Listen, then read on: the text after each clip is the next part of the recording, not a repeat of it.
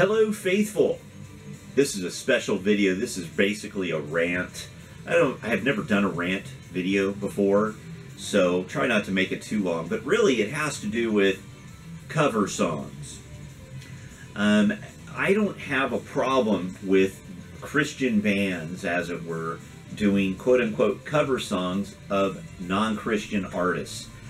You know, before we had contemporary Christian music, it was sacred music and secular. It was gospel. You know, there wasn't Christian music. You know, um, that term really evolved in the 70s.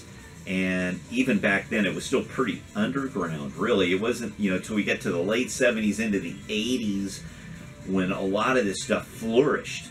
But we had the sacred and the secular. And honestly, you know, um, I, I, have never really had a problem with that. I mean, we know Resurrection Band, they covered a song by what, Blind Faith. Um, they covered a song by The Who. They did Jefferson Airplane all, all those songs, the lyrics had special meaning for them.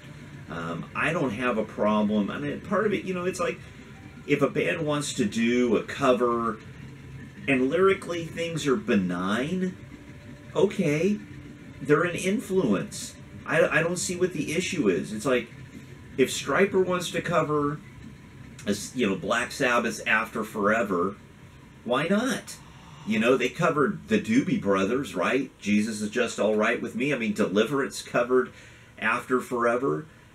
Who would have thought that, you know, a Black Sabbath song put in the right, in a, in a new context, could have appropriate spiritual meaning? Think about that. You know, we see things in the Old Testament, you know, what God took an ass and used an ass, a donkey, to speak to somebody. How, how, really? So God uses the simple things to confound the wise. And I, I I'm like, my life isn't just black and white. Can I tell you that? My life, there's a lot of gray because I don't have it all figured out. And the minute I think I have it all figured out, God has a tendency to, in a baseball term, was it toss the table, toss the spread, if you know what that means pull the rug out from underneath you. So don't be so quick to judge somebody because they covered a secular song. I really don't have a problem with it. Uh, that's just me, me, myself, and I. Uh, if you do, then avoid those things. It doesn't mean somebody else's walk is compromised. It might mean that their walk is at a different place than you. So that's just my quick rant. Cover songs. Don't have a problem with it. And if you're someone who's going to say, "Well, where's a Bible verse?" Sorry, I don't have one. I don't I don't believe that I need one. God gave us a brain. He expects us to use it. Um, because reality is we can take all things and use them for his glory, right?